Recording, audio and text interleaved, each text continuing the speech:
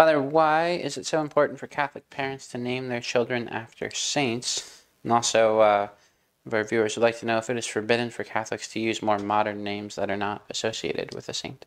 Such as You mentioned, someone mentioned Moonbeam. Moonbeam, Tequila, right? Uh.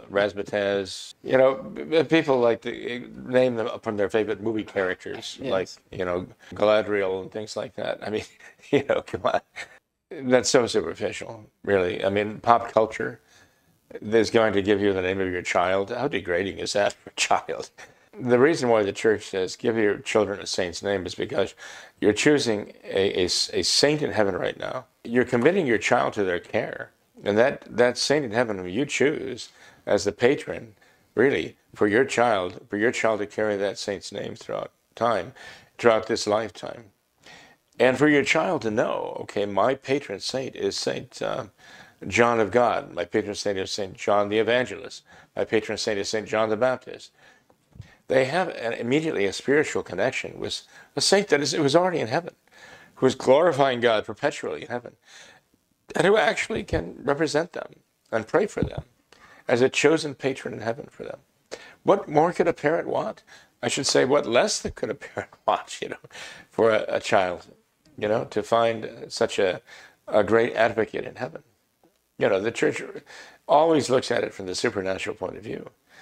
And it says, well, if you're going to choose a name for a child, pick a name that has a real, sincere, uh, you know, serious meaning. And ultimately, your child is God's child by baptism. And this God's child is destined to be a child of God not only on earth by grace, but in heaven by the beatific vision. Give your child a name that shows you have an understanding of that. That you understand that that is the destiny of your child. And you're naming that child accordingly, as though you really understand that the child is called to be a child of God in heaven. And you want that child to have an advocate there helping them already. It's the same reason why the church gives you confirmation and choose a confirmation patron, too. Again, to have others in heaven, friends uh, in heaven, as our Lord refers to them, right? In the mansions of heaven, to can, who can advocate for you, pray for you, and, and watch over you. It's that, but it's even more because you want the child to grow up with an awareness of the fact that they were, in a sense, dedicated to this particular saint. And you want them to grow up with the idea, with the ideal of that saint in mind.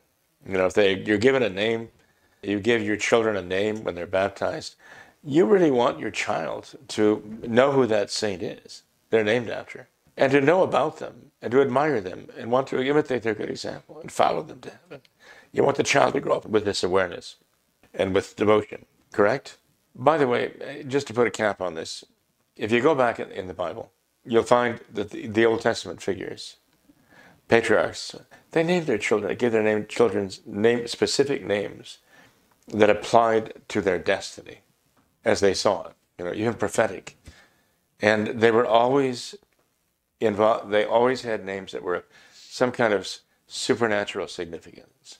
And so we're basically just following the example of our forebears, not only over the last 2,000 years, but even into, into the Old Testament as God guided them in naming their own children according to their God given, you might say, destiny or role they would play in life. Mm-hmm.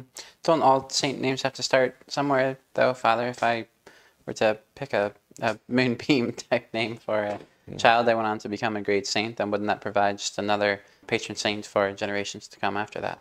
Yeah, well, if you want your children to go on to become a saint, let them carry that name to heaven with them, and then they will be, uh, God willing, at some point, yeah. uh, as you say, someone performing the service for them in heaven, whom their own patron is doing for them now, while they're still here on earth. Right? Yeah. I guess that's the point, right? Yeah.